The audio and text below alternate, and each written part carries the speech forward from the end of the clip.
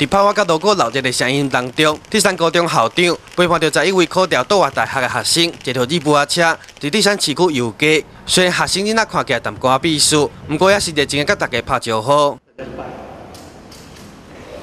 随后嘛，政府安排几号活动的去民警表达谢意，其中登去甲各中母校学生嘛以感恩的心，向各中导师献上感谢卡甲回收。就有一种以前那个科举啊，考上那个榜首的那几些考生啊，回乡去庆祝的时候那种感觉啊。啊，虽然我们大家都是竹山人啦，可是回到我们以前曾经努力过的那个母校啊，就感觉心里都很感动啊。其实现在心情还蛮紧张的，因为就是从来学校从来没有这样做过，所以就会觉得说，呃，也是蛮大阵仗的，就会觉得呃，竹山应该是一个从此之后就是会一个蛮好的地方这样。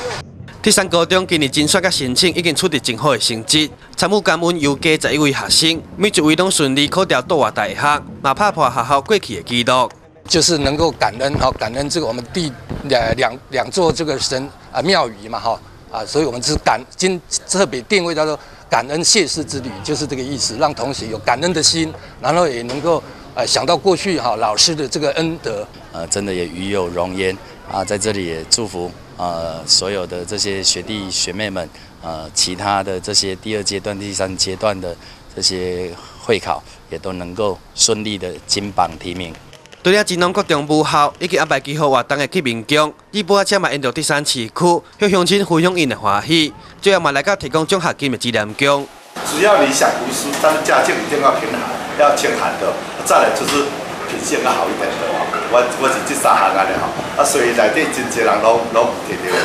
咱的奖学金，啊，拢考掉，也是鼓励大学。